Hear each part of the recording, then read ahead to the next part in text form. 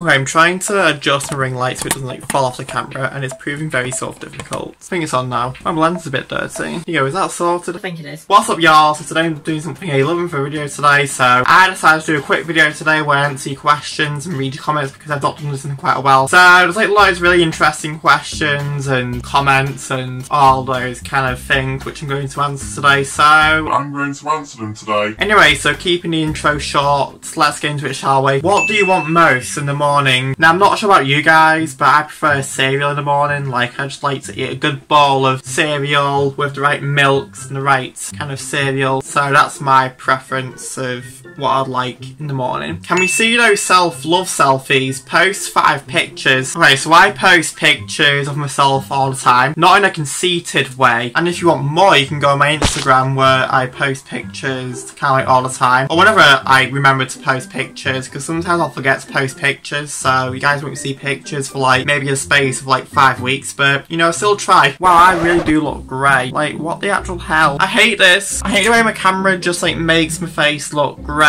Like, it does not look appealing. I'm trying to change the lighting, just anything to like make me not look grey. Okay, I think I've made the grey go away. Also, what's with this hair? Like, this hair looks horrendous. Anyway, next question. How old do you look based on your hands? So, now I don't know how a hand can determine how old you look, but I guess this is my hand, so here we go.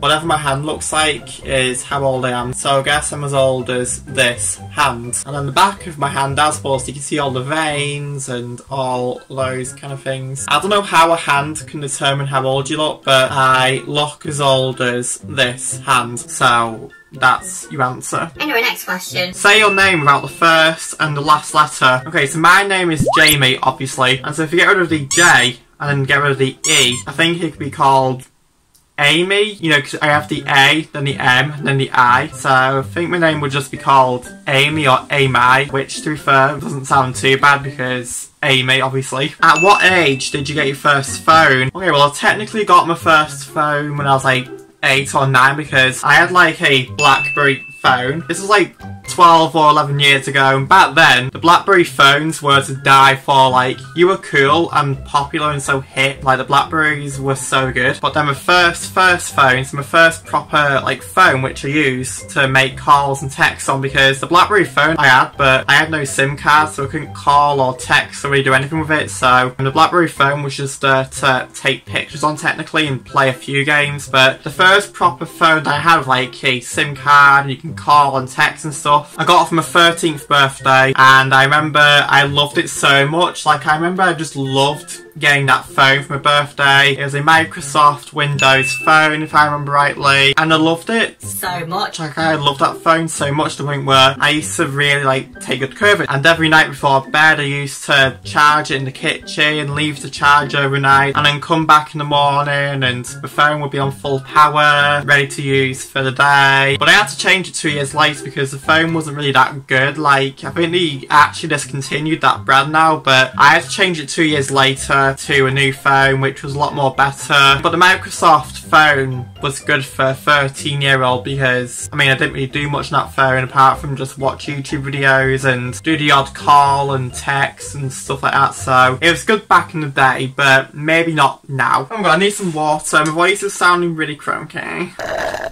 How do you write slay in cursive? Okay, so let me get whiteboard out. Okay, so I think it's kind of like easy because you have the L, then you have the S, and then the A and the Y, which is so easy to write in cursive, so it shouldn't be that hard to do. So it's like, You have to do something like this. Um, and then what do you do for the A?